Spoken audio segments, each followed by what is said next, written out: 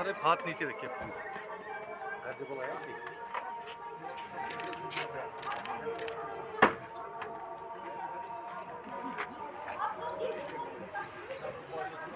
Silent है वो ठीक मगर इसमें बस है थोड़ा फ़ोटो शूट बस नहीं थोड़ा करीब sir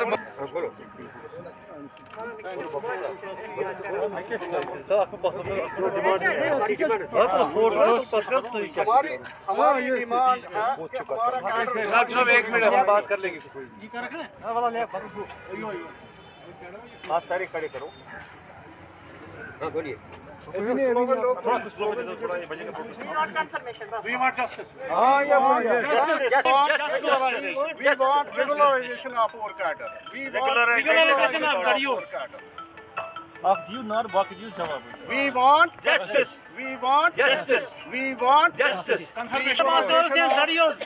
We want confirmation of head- headmasters and studios. We want confirmation of headmasters and studios. है मैं रिटायर्ड जोनल एजुकेशन ऑफिसर हूँ in charge zonal education officer मैंने नौ साल से ज़्यादा एज जोनल रिटायर्ड ये as in charge zonal education officer काम किया।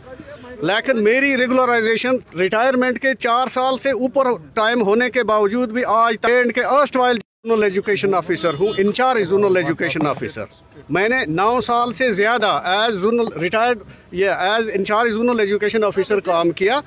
लेकिन मेरी रेगुलराइजेशन रिटायरमेंट के चार साल से ऊपर टाइम होने के बावजूद भी आज तक के erst while J and K, के जितने भी इस इंचार्ज आडियो काडर के लोग जो हैं इनकी कन्फर्मेशन ऐसे ही लटकी हुई है।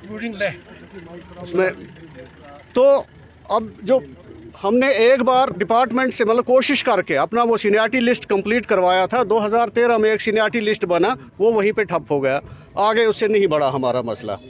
फिर 2017-18 में एक और सीनियरिटी लिस्ट बना और उसमें तमाम जो फॉर्मेलिटीज़ थी वो कंप्लीट थी तकरीबन साढ़े तीन सौ इंचार्ज आडियोज़ की। उनको रेगुलर होना था। लेकिन एक फॉर्मेलिटी रह गई वो था डिपार्टमेंट का वो डिप, वो डीपीसी होता है। उस मीटिंग में हमारी फ़ाइल नहीं दी गई। तो जो विजिलेंस क्लियरेंस था उसकी डेट एक्सपायर हो गई क्योंकि उसकी वैलिडिटी छः महीने होती है। तो इस तरह से हम फिर पड़ गए। फिर पिछले डेढ़ साल से हम तागोदो में लगे हुए हैं। हमने डिपार्टमेंट को पूरा कॉपरेशन दिया।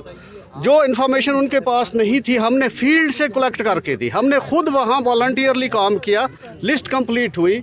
इस वक्त तकरीबन साढ़े पाँच सौ जाडियोज का विजिलेंस क्लियरेंस भी आया है। आपकी डिमांड क्या है? डीपीसी नहीं हो रही है हमारी। हम कहते हैं डीपीसी करो और हमारा हमारी जो रेगुलराइजेशन है इसके ऑर्डर्स इशू करो।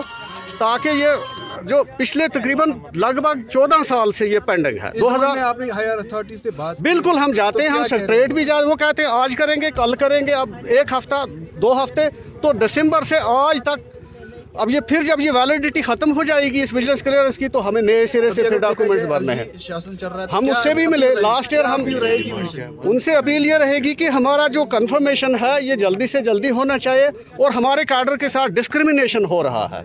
जॉइंट डायरेक्टर्स की डीपीसी हो गई फिर सीओज की हो गई डाइट प्रिंसिपल्स की हो गई बारह तेरह सौ से ऊपर ऊपर प्लस टू प्रिंसिपल्स जो होते हैं उनकी हो गई। इंचार्ज लेक्चरर्स हैं मुख्तलिफ़ सब्जेक्ट्स के उनकी हो गई। तो हमारी फ़ाइल कंप्लीट होने के बावजूद हमारी डीपीसी क्यों नहीं हो रही? है